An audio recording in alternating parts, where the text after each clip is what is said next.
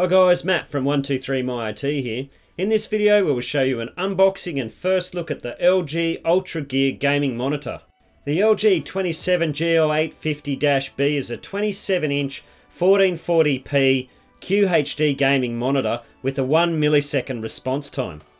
It has a refresh rate of 144Hz and it's also G-Sync and FreeSync compatible by using Adaptive Sync. The 27GL850-B is a great buy at the moment and retails for around 350 USD and 550 Aussie at the time of this video. If you're interested, I will put a link in the description below. Other features include black stabilizer and HDR10 support. Let's take a look at what you get inside the box. First up inside the box you have the base of the monitor stand. It has a black plastic cover with red highlights.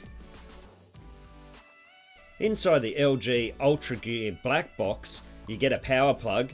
So I have an Australian New Zealand power plug, but if you're in the US, you would get a US power plug. The power supply is not built into the monitor and it comes as a separate power brick, much like you see with laptop designs. I tested the power draw with HDR effect turned on, which is the brightest setting, and the monitor uses about 26 watts of power, when I changed it to reader mode, it used 13 watts of power, and the worst part is when the monitor was totally turned off, it was still using 1 to 2 watt, watts while not in use. Next in the box you have a cable tidy, a display port cable, USB 3.0 and a HDMI cable. Also in the box you have a driver CD, a quick start guide and warranty information. Next up is the arm that connects the monitor to the base. And the cable tidy just snaps on the back of that. One thing I don't like about this design is it actually pushes the stand a bit further out from the wall because of the cable tidy. To attach the stand, just plug it in the bottom and then tighten up the little screw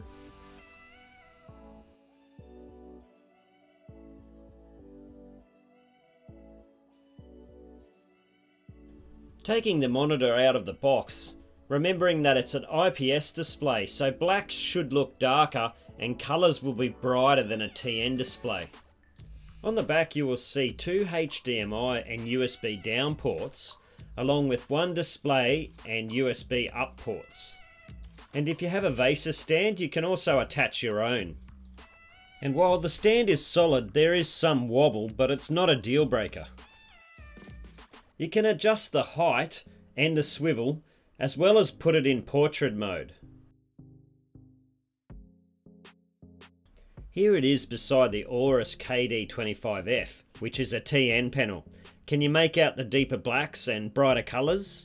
Remembering that it's a Nano IPS panel with a resolution of 2560 by 1440 and 350 nits of brightness. To start the OSD, there is a little joystick under the logo. The thing that I really like about it is it tells you the refresh rate straight away. Sweet, so it's running at 144 Hz, and you can see that adaptive sync is turned on. For best results in games, I set this mode to FPS and went into the game adjust menu and I turned adaptive sync off. The reason for this is when adaptive sync is turned on, the frame rate in PUBG drops, making it terrible to play. If you can't get adaptive sync to turn off, go into the NVIDIA control panel and take the tick out of enable G-Sync. I'm assuming it'll be the same for the AMD graphics cards as well. Once you have that turned off, go down to response time and make sure it's set to fast, not faster.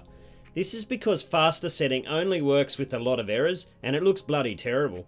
But don't take my word for it, try it out for yourself. Next up, to add a crosshair, go down to the crosshair menu and select the crosshair you want to use. I always use the red one, it works best for me. But the annoying thing with this monitor is when you turn it off and back on, the crosshair disappears. So you have to go in and turn it back on every time you want to use it. That's bloody annoying, dude. Alright, go back in and check your display settings and make sure that the 27GL850 is set to 144Hz refresh rate. On the back of a monitor it has a USB hub, which I really like as it allows you to plug in extra devices on your desktop. I use a desktop mic, so when I turn my monitor off, it also turns the mic off, which I find really handy. Alright, let's fire up some PUBG and do some testing. So, with Adaptive Sync turned on, I was getting around 71 to 74 frames per second. And with it turned off, frames improved all the way up to 110 frames per second. So you can see why some BenQ monitors don't even include G-Sync or FreeSync as an option, as it just might not always be suitable. Guys, don't forget to check out my other videos such as how to arrange your iPhone icons the easy way, and do me a favour, hit the subscribe button and smash that bell icon.